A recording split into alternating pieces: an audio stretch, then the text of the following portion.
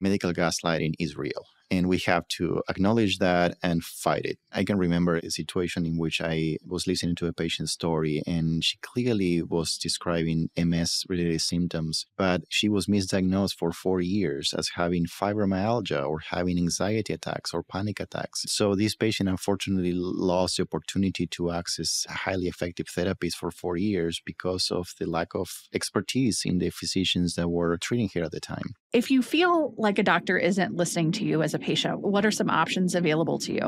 I think that physicians or healthcare providers play a role in medicine, and we have to be mindful of the fact that sometimes access to healthcare is limited. But if patients have the opportunity to seek a second opinion, I will say, probably consider that, particularly when you're dealing with disorders like multiple sclerosis, that is a chronic disease.